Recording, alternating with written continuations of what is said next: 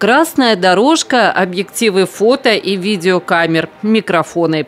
Тот случай, когда для телевизионщиков это не рабочие будни, а особый праздник – национальный конкурс профессионального мастерства. По дороге к телевершине 2022 команда телерадиокомпании «Брест». Переполняемся различными ожиданиями, ожиданиями сверхэмоций каких-то, ну, естественно, сверхрезультатов для нашей телерадиокомпании «Брест». В этом сезоне на конкурс поступило 224 заявки. Из них от региональных СМИ, в числе которых и телерадиокомпания «Брест», более сотни. Мало того, что мы готовились к этому мероприятию, мы еще работали, плодотворно работали несколько лет для того, чтобы привести сюда достойный материал, достойные вещи. У нас очень большие ожидания, и мы уверены, что не вернемся без награды. Победа в телевершине – это всегда большая интрига. О победителях пока знает только жюри. Участникам остается гадать, кому покорится телевизионный Олимп. Нужно провести рукой, чтобы получить предсказание на вечер. На вечер? Я тоже могу? Конечно. Время гармонии в семье и с окружающим миром. Ну, по-моему, неплохо. Спасибо большое. Попытала счастье режиссер телерадиокомпании «Брест» Карина Феоктистова. Вам предстоит много свершений как в профессиональном плане, так и в домашних делах. Ждем. Телевершина собрала лучших после пятилетнего перерыва. За это время, отмечает глава Белтелерадиокомпании Иван Эйсмонт, отечественное телевидение значительно изменилось. Никто, наверное, не будет спорить, что на нашем телевидении появились абсолютно новые лица.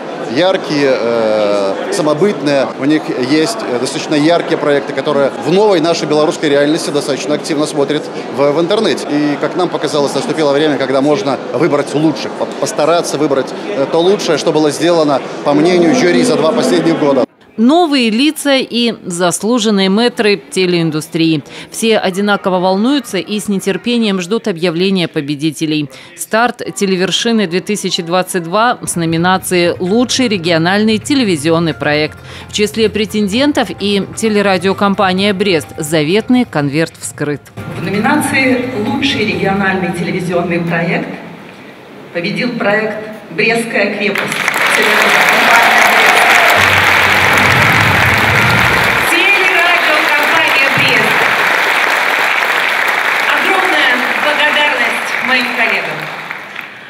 Огромная благодарность отделу спецпроектов. Нас много, мы талантливые и все еще впереди. Всего жюри конкурса определило победителей в 22 номинациях. Награды как персональные, так и коллективные. Определены специальные награды и гран-при.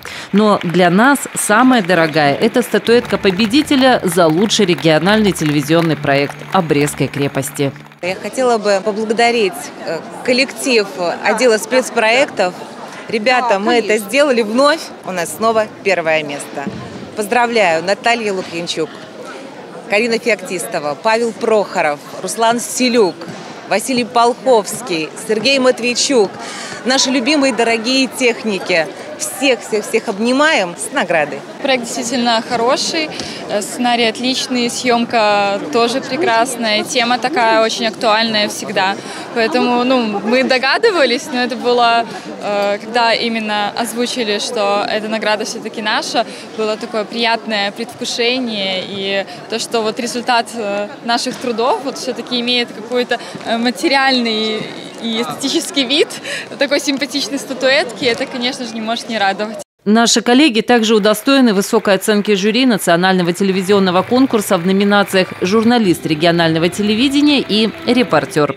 В первой дипломом лауреата награждена Елена Дамиева. Во второй в числе лучших репортеров страны Наталья Войтюх.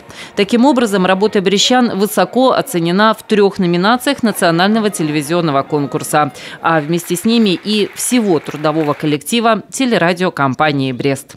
У нас прекрасный коллектив замечательный. Я даже не знаю, кем бы я могла не гордиться в нашем коллективе. Если сегодня говорить о телевершине, практически наша компания привозила самые высокие награды. Поэтому сегодняшняя вершина и ее результат традиционны для нашего коллектива.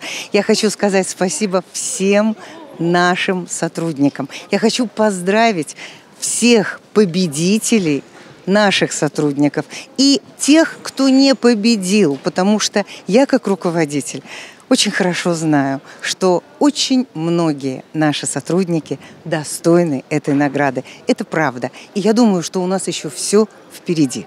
14-й национальный конкурс «Телевершина» завершен. Теперь телевизионщики возвращаются к рабочим будням. И команда телерадиокомпании «Брест» также возвращается в вихрь телеэфира.